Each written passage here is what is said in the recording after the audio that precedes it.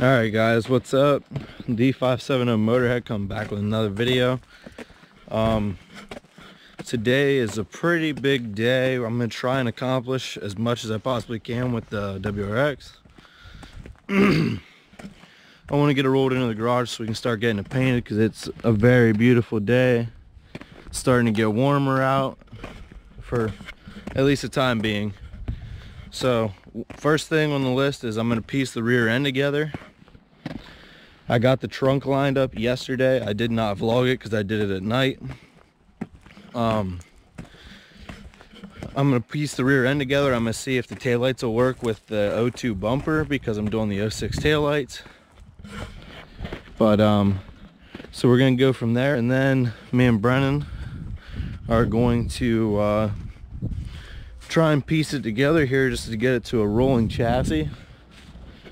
That way I can get it into the garage.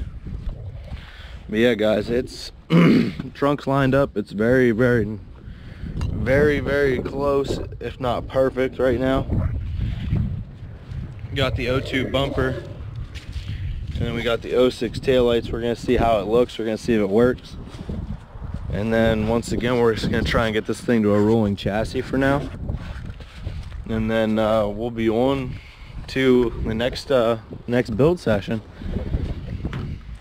All right, guys, I'll check back in here once I start getting the bumper fitted, seeing if the bumper fits up nice, and then uh, we'll go from there, guys. All right, later. Bumper fitted up. It's not 100% because I'm not going to throw bolts in it because we're just doing a quick test, but fits up real good. Doesn't have clips in it or nothing like that. So, like, once again, we're just doing a quick test, but uh, even that just looks great.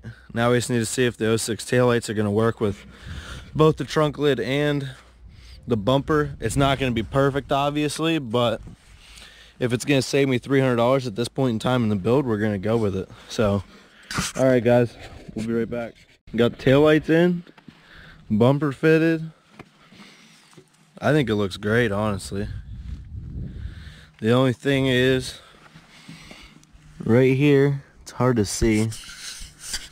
But right here, we got that gap right here. And then on the bottom side, we got a big gap. But you can't even notice it unless you're tight up against the car. And honestly, standing from here, you can't notice anything other than that it is an O2 bumper. I could care less, honestly. It's to save me $300 just to paint this bumper because it's in fine shape. Nothing's damaged on it, you know. So we're going with this. I'm not going to spend that extra money on the 06 bumper if I don't absolutely need to because either way it's never going to line up with the trunk lid because it's different year body. So honestly, I think I'm I'm I'm happy with this. This looks fine. This looks great to me. All right, guys, we're going to move on to the next step of what we're doing today and we're going to try and figure out uh going to try and figure out what we can do here. Alright guys, we'll be back with many more updates later on. Alright guys, what's up? We're back with another update. Um, so for today, we just basically wanted to get the parts back here, you know, get a little bit of a game plan ahead of us. And obviously the car was sitting here. Well, it's not there anymore. We moved it up here so it was on the flat ground so we could actually, you know, safely lay under it and everything. We got up on the blocks. I pulled the front end back off because it's you know it's not finished yet. It needs welded and everything. I mean it's got it started but it's not there yet. But uh, for right now today the rest of today which we only got a little bit of daylight here yet maybe an hour not even probably.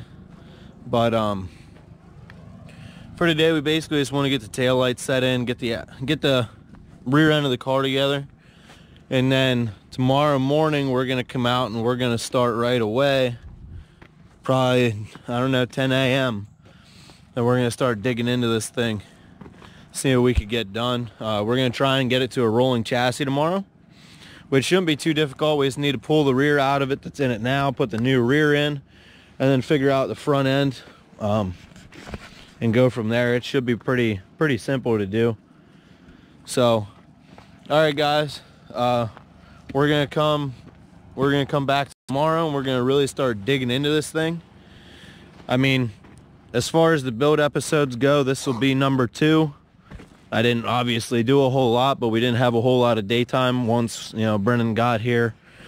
And we had to move the car. We had to get it up on the blocks. We had to do all sorts of stuff. I needed other people's help to help me. Me and Brennan couldn't just do it ourselves.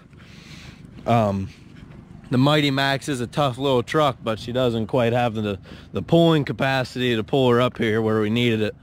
So, all right, guys, that'll end build episode number two. It's a really short video, but you get the gist of what I'm trying to do at least. And then tomorrow will be build episode number three where we actually jump into this thing and actually start making some progress on it to get it painted and start, you know, getting into the garage so we can start sanding it and getting her, getting to the point where we can actually start really seeing progress done to this car. All right, guys, have a good night and tune in. We'll be back with a lot more uploads to come.